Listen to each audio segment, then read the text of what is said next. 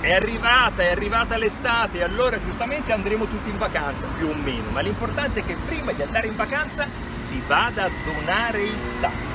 Mi raccomando, il nostro sangue è prezioso e poi le malattie non vanno in vacanza, non ci vanno gli incidenti, non ci vanno le operazioni, le urgenze, le emergenze. E quindi che bisogna fare? Donare il sangue come? Semplice, rivolgetevi ai centri trasfusionali o se avete già una vostra associazione di fiducia dove già donate o se no alle associazioni e poi cominciate, vi fanno anche una bella visita così capiamo come stiamo e poi doniamo liberamente. Poi dopo vacanze, mare, monti, montagna, ma dove vi pare. L'importante è donare prima di andare. ですよ。